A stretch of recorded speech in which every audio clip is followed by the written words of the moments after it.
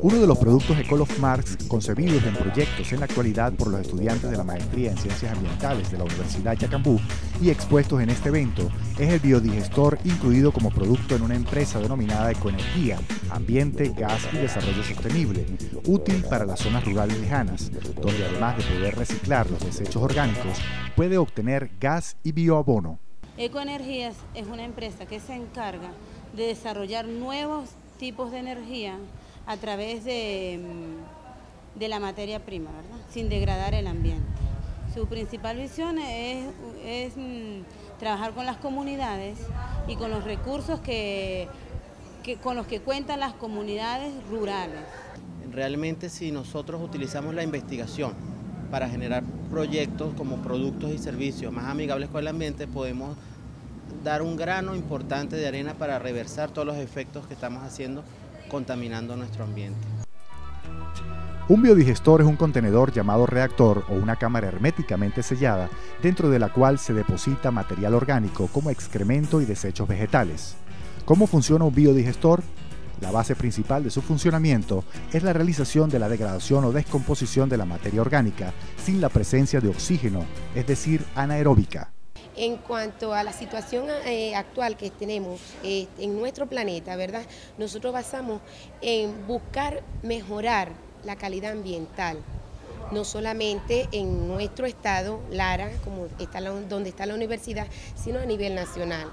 La empresa en proyecto por estos estudiantes pretende con el biodigestor tener como resultado dos subproductos que son el biogás metano y el bioabono.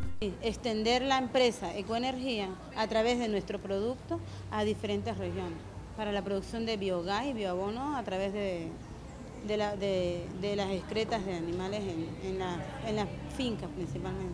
Sí, los cuatro proyectos se hicieron bajo esa filosofía. El uno, interesante para zonas rurales alejadas, fuente de energía. Una de las ventajas expuestas por este grupo de estudiantes de la maestría en ciencias ambientales que tienen el proyecto del biodigestor fueron desde el punto de vista ambiental la reducción de los malos olores que generan los excrementos y su estado natural, y se evita la tala de los árboles. Eh, en las zonas rurales tenemos los tipos de producción, bien sea bovino, ovino, caprino, y nosotros buscar esos desechos que ellos no les sirve, ellos no lo utilizan, para utilizarlo y ellos poder tener un biogás y un bioabono, donde ellos van a sustituir la, el gas convencional con un gas natural y dejando de cortar leña donde ellos utilizan en las zonas más rurales donde no llega el servicio de gas eh, comercial y ellos utilizar un, gas, un biogás energético que lo puedan utilizar.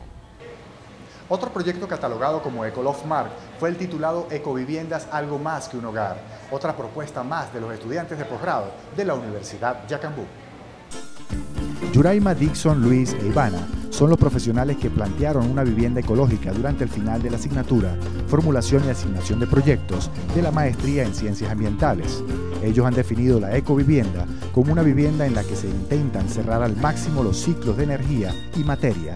El proyecto de ecovivienda en muchas partes, específicamente en España, se ha, se ha venido desarrollando desde hace mucho tiempo.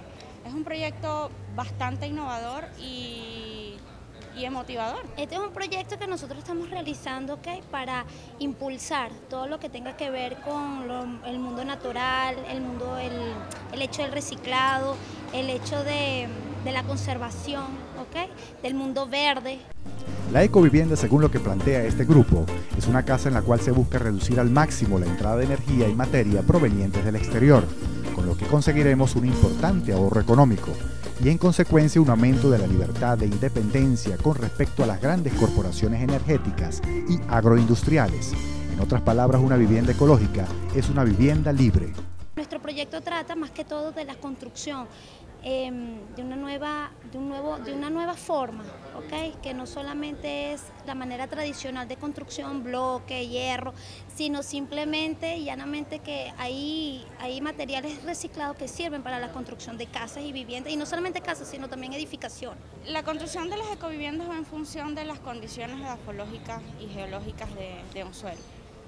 Eh, sitios donde hayan mayores fallas mm, tectónicas no es recomendable por, los movimientos de las placas, valga la redundancia.